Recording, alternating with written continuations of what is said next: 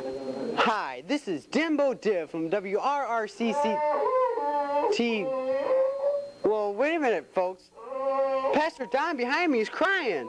Look, let's go find out why. Pastor, Pastor, why are you crying? I can't go to Mike Cantrell's Christmas party on December the 14th. Well, well, why not?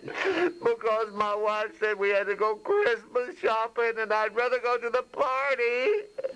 Oh, that's too bad. We're gonna have a lot of fun. You know, there's gonna be videos, pinball machines, know. food. I know. Oh man, we're gonna have a lot of fun. I know. Well, hey, wait a minute. Won't let me go. Well, well, wait. Maybe if we can talk to her out of it, maybe we. No way, no way. He promised he's gonna go Christmas with me, and he is going. Don't you have to go? And that's right, Papa, you're going. Yes, sir. We're going Christmas shopping. Whatever else happens, we are going shopping.